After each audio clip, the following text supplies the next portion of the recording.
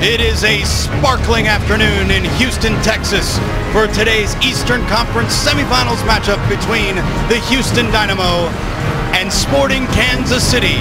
Garcia and Brad Davis that do so much to bring in these two guys up top. Calen Carr with his speed stretching the defense, and Will Bruin who has that scoring touch right now. Sapong sitting up high, holding the ball up, and Kei Kamara's had a breakout season, the best he's played in MLS. And will get us underway. They went all the way last season to MLS Cup, where they were beaten by the Los Angeles Galaxy in their trademark orange shirts. We're underway at BBVA Compass Stadium. Moffat again. There's an excellent drive. Oh, what a goal! Well, I did warn you a few seconds ago. A right foot like a hammer from Adam Moffat. What a way to get the scoring underway here. 1-0 to the Houston Dynamo, a rocket. Well, Adam Moffat's the one who plays the ball in, but watch him follow the play as this ball comes back out. Takes a touch here, and this is a dream strike. Catches it off the half volley, and you can't hit a ball any purer than that. Look at that. Against the grain, absolutely rifles this ball. Watch him catch it off the half bounce. Barely any spin to it. That's picture perfect. Kyle, the previous shot that he had, the volley, was excellent as well, wasn't it? That was heading for Jimmy Nielsen's goal. It was blocked. It was a sweet strike. And then to do that on the half volley just moments later. Well, one of the well, reasons that's wonderful. he's so good from long distance is you watch how quiet his body is when he strikes the ball. That unfamiliar right wing position for the centre back. A wild swing and a miss from Collin. There's a challenge by Calen Carr, and it's a goal kick. Like Kei Kamara back defending has taken a blow himself. Let's take a look at the challenge. Well, it looked like Calen Carr was just coming in, and this is the whiff by Collin. But right here, it looks like he's just coming in and trying to block the ball, and he actually doesn't make contact. It's because the ball hits so purely in that tackle that it looked like it tweaked the leg back of Kei Kamara. It was just such a pure challenge, and I think the brute force of it was what ended up putting Kei Kamara on the ground. And Calen Carr's gone into the book here. Jurasevich has decided that... I don't know about that. Yeah. It looked like he got pure ball. The crowd don't like it.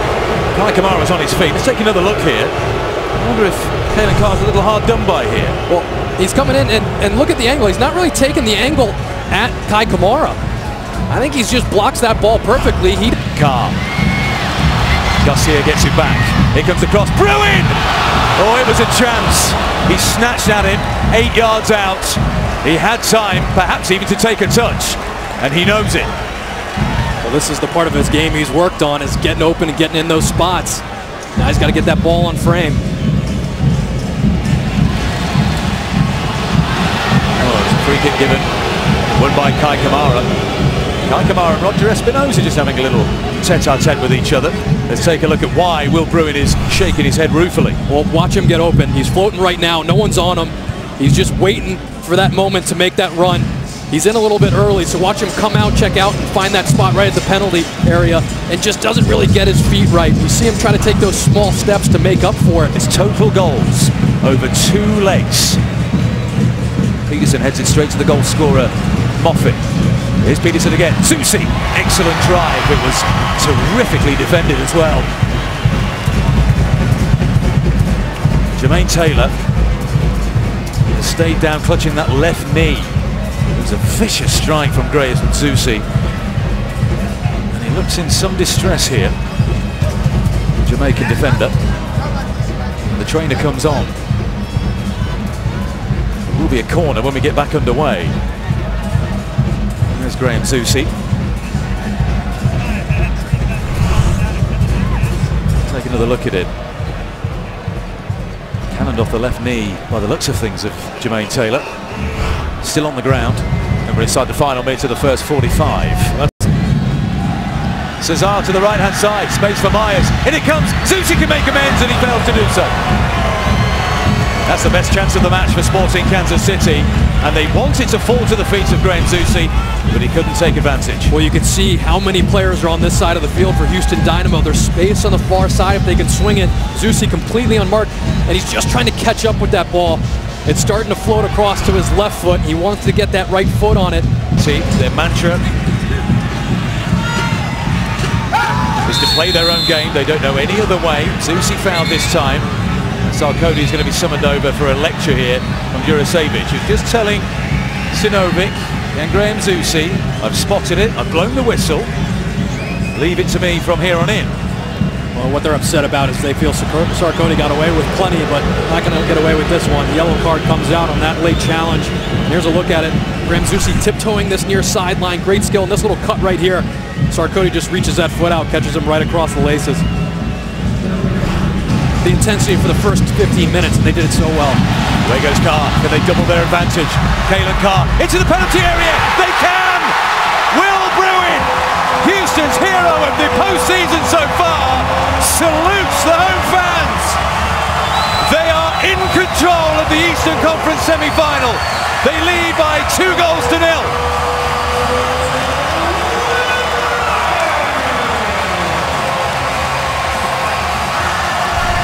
Calen Carr has been outstanding for this team lately, running the channels. Beautiful cut there. And Besler can't fly out immediately. He had to go with the run, but look at Will Bruin. That's what I'm talking about, running off the ball. He's improved his game so much. So delay his run, don't get in too early. Perfect ball back to him. And all he's got to do is get good contact on this, open up his hip, put it far post.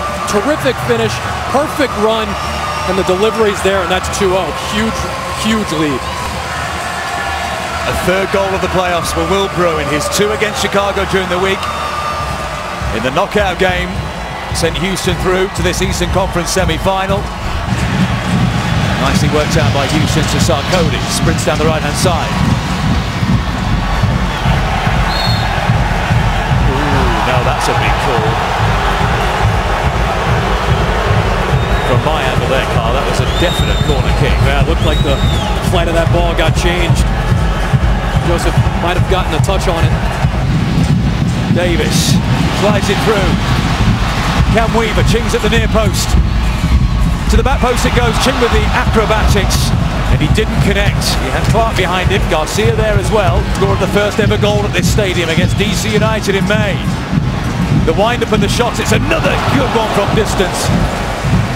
Well, Weaver's looked in the mood since coming on. It's wide to the left hand side of Jimmy Nielsen's goal. A throw-ins into the Houston penalty area. Boswell didn't know where that went. Tally Hall slaps it clear. Besler goes down in the penalty area. Peterson Joseph. Graham Zusi. Far post. Opportunity! And it's wide. Julio Cesar was lurking. Some nervy moments for the Houston Dynamo back line. This is a lovely little ball from Graham Zusi. Look at that far post run. Julio Cesar just reaching out for it. Weaver's in the penalty area. So is Jimmy Nielsen. That might be that. All eyes on Jurasevich. It's all over. We've reached the halfway point of the Eastern Conference.